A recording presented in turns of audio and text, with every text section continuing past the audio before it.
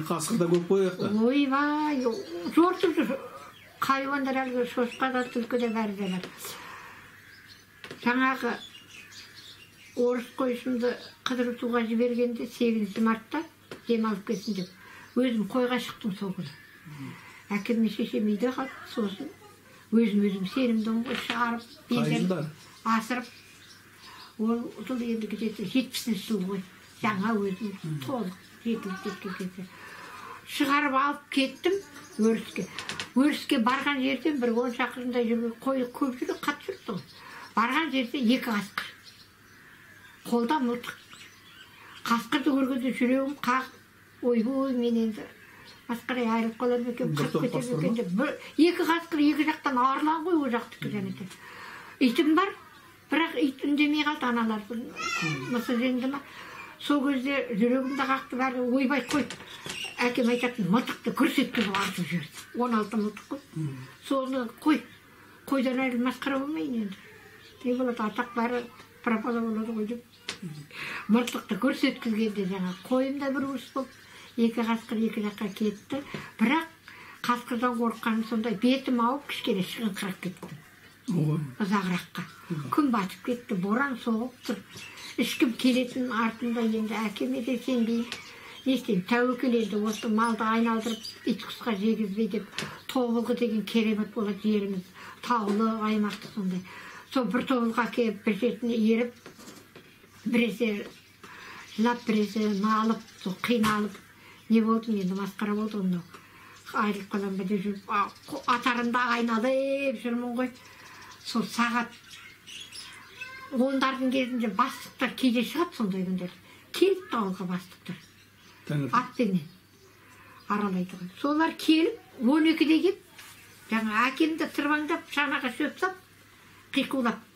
Айқаймен сөйлесесің ғой сол шанаға шөп сап малдың алдын жетектеп ескі жетек серке жетек ақ серкелер ай мүйіз қошқар содан он екіде ме бірде келдім дегенмен өзім кішкене түн көрді ма иә түнгі бірде Түнгі, түнгі бірде таңға жеткізген жоқ олар да шыдамаған ғой бәрі жабылып қиқулап сол бағыт осылай еді деп сайға қарай кетіп қалыппыз да былай жазыққа шыққанбыз содан келіп келдік қой дегенмен тоңып та қалыппын өзім сонымен сондай бір жағдай болды сегізінші март күні тура қасқырдан аман алып қалдым содан жаңағы басшыларым да айтып жатыр ғой қазінесі дұрыс алла ғой бізді жеткізген деп кейде пошташылар келеді.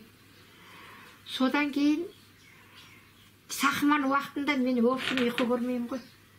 Сол ұйқыда көрмеймін ешкімге ренжімеймін да түнгі күзетті ешкімге сенбеймін. Күндіз рас енді. Күндіз де нетпеймін сондай бір өзім директорымның айтатыны ғой. Біздің жұлдызымыз қайда? Ұйықтап жатқан шығар деп алғаш жас шопан болған кезде сол әке шешеміз деген ба олар күндіз бәрі етеді о қазы қазы емес қазы екен дұрыс дұрыс. Рахмет айналайын деп. Арқамнан қағып еркелететін еді. Да оныншы жыл директор болды бұл кісі маған обал несі әліпбек бекетаев деген кісі. Ырзам аймаңдай дейтін ана жылқы тепкен маңдайында тыртығы бар. Пысық кісі тұғын бірақ кейде бағынбай шатасып қаламын ғой. В общем тізгінімді ешкімге беріп көргем жоқ. Әкем барып біреуге жалып жасап менің қызым қиналып жүр деп көрген жоқ. Өзімнің жолымды өзім тауып өзім. Алғашқы барғанда төрт шатақпен бақтық қой қойды. Төбесін көлеңкелі кигіз үй де жоқ қой үкіметте алпыс алтыншы жылы иә. Содан кейін барып екі үш айдан кейін барып осы жақтан алдыртты ма бір қара үй берді. Алғашқы өзімді қай бір тәуір үй берді жастық жастық тесік тесік. Бірақ соның бәрін бірте бірте оңдап қатарға ілігіп кетті бір жылдан кейін келді сол жаңағы алпыс алтыншы жылы колледж болдым алпыс жетінші жылы бірінші хатшы келді оны қарағанды обкомнан екінші хатшы келіп үйден бірінші майда қой төлдетіп жатқанда дастарханды көрсетіп екінің бірі дастархан көрсете алмайды ғой ол кісілерге соны директор осы қыз пысық осы қыз бізді ұятқа қалдырмайды деп алып кетті әкелгесі болса алты қанат үй жабылған соған шайды тамақты етті асып өзім пысып жүріп сол стол жасап содан әке жаңағы кісімен сөйлесіп сосын әке айтқан ғой әкенің ақылы ғой. Мынау шопандар қатты қиналып жүр. Ешқандай жағдай жоқ. Не еңбегін өсірмейсіңдер айлығын. Жағдай туғызбайсыңдар. Мен қызым қойшы деп қиналып отқам жоқ. Біздікі пенсиялар бар ғой екеуі пенсия. Шешем алып әкем әкем өмір бақи елу ақ теңгемен кетті ғой. Қандай қорлық. Қайта шешемді қойдың атын жазып жүз жиырмамен шығарып алдым ойланып сол керек қой деп сонымен жаңағы кісіге тапсырма беріп ол кісі жезқазғанның несіне бірінші хатшысына айтыпты халқыңды еліңді қойшыларыңды арала сосын әке айтқан ғой бізде де халықты сыйлай аламыз кәдімгідей келісіп сөйлесеміз деп содан константин семенович келіп алып келді ойбай аудан болып совхоз болып керемет дайындалды қорқады ғой енді орысша да білмейді өздері содан дайындалып сол қазір алып күтесің деген жаңағы шешей де біздің бап еді қаймаққа балық қуырып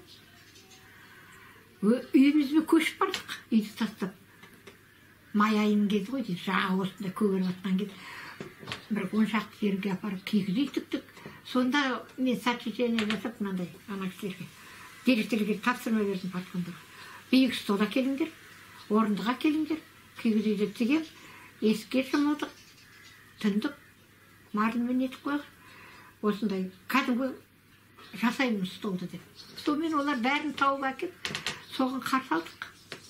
Басқалардың бәрі ана жақта жүрді сол әкеме мен ғана болдым ортасында. Бірінші хатшы бірінші хатшы концерт.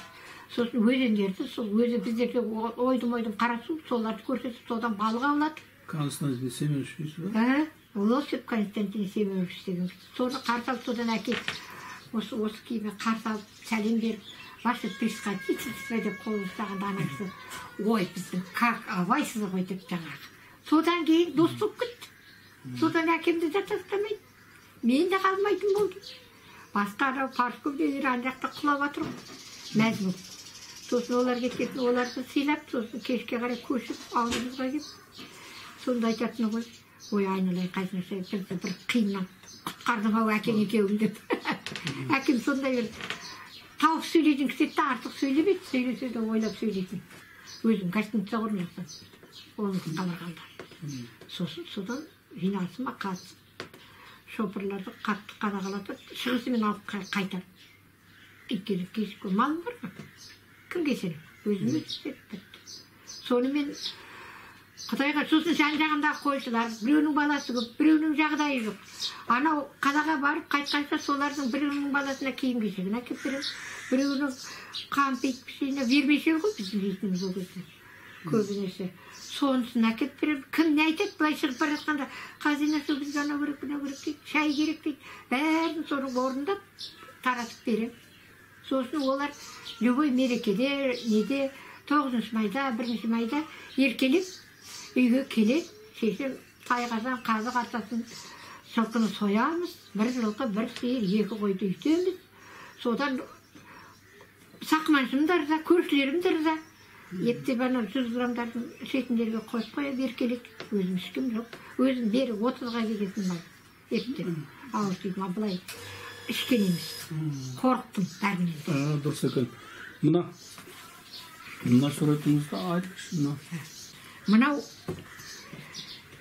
кентаев қасымхан деген шахтер сәтбаевтан шыққан. Мынау давидов хатшы ма? Давидов құдай ау бұны осыны ұмыттым осы бұл ертеректі сол. Бұл сәтбаевтың шахтының бастығы негізі. А, мынау константин семенович Ло- лосев жаңағы Бірінші хатшы. бірінші хатшы ма қайсысы? Жез- жезқазғандағы мінекей. Үшінші тұрған. Иә үшіншісі. Сосын мынау менің өзім аэропорттың самолеттің трапында тұрмыз ғой бәріміз. Мынау хамза бижанович райс о, облсполком председателі. Мына кісі военный. Сол облыс көлеміндегі бұл кісіні де білетін едім әскери комиссар иә әскери комиссия генерал. Генерал.